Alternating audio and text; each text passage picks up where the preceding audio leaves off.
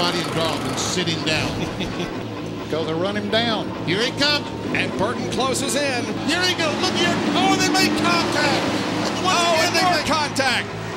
They go down into the corner side by side, and Jeff Gordon holds off the challenge.